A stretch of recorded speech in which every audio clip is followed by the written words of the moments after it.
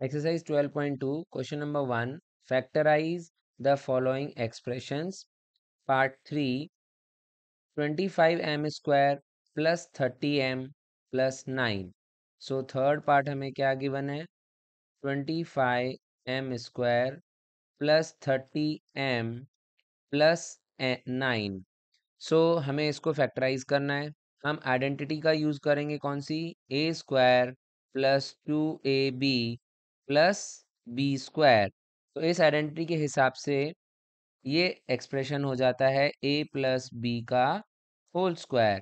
तो हमें ए पहचानना है और बी पहचानना है कि गिवन क्वेश्चन में ए कितना है और बी कितना है, ताकि हम इस ट्राइनोमियल को डायरेक्ट एक होल स्क्वायर में कन्वर्ट कर सकें। ओके, सो हम एक एक टर्म को कंपेयर करते चलते हैं। पहला टर्म है twenty five m square which is equal to a square तो इस टर्म को हमें एक होल स्क्वायर में कन्वर्ट करना पड़ेगा। अब यहाँ पे नंबर भी है और वेरिएबल भी है। तो नंबर को हम देखते हैं, वो किसका स्क्वायर है? वो फाइव का स्क्वायर है।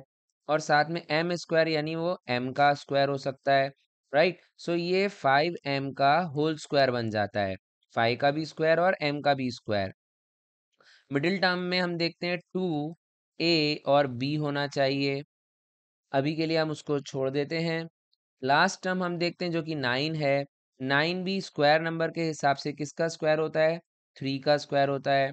तो ऐसा करने से हमें ए भी पता चल गया और बी भी पता चल गया है।